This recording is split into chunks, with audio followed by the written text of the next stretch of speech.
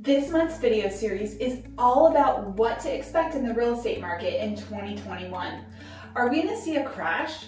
Hi, I'm Chelsea of Chelsea Cook Real Estate with Harcourts Realty. I don't know about you, but I found the media to inflate the truth and use some twisted headlines to get more viewers. So, let's look at the predictions for 2021 from some people that have their pulse on the real estate market and are experts in the real estate industry.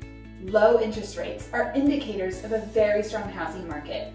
According to Freddie Mac, they project interest rates to remain low. In fact, lower than they have seen in the last five years. Also, chief economist of Realtor.com, Danielle Hale, states, we expect home sales in 2021 to come in 7% above 2020 levels. Also, all the major services, like Fannie Mae, the Mortgage Bankers Association, and more, are forecasting an increase in home prices in 2021. Not a significant increase as previous years, but still an increase. Also, according to Lawrence Yun, chief economist for the National Association of Realtors, he states, this winter may be one of our best winters for sales activity on a winter to winter comparison.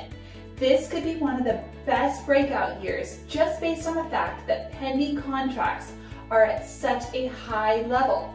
I hope this information helps you in giving you some insight into what 2021 may bring. Always here to help, feel free to contact us even if it's just to talk through your options. I'm Chelsea Cook with Harcourts Realty and I'm Akita Sold.